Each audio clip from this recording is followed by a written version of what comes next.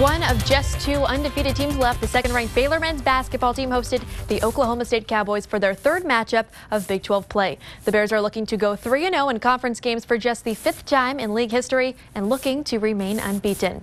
We head now to the Ferrell Center. New Baylor football coach Matt Rhule hanging out in the Baylor student section cheering on the Bears. Beginning of the second half now, BU was trailing by five. Jonathan Motley scores first six points of the second half to take the lead.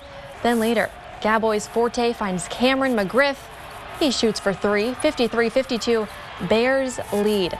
Bears then extend their lead 56-52 after Jake Lindsey hits a three-pointer with a little over three minutes left. Baylor goes on to win 61-57, remaining undefeated and looking very deserving of that number one spot.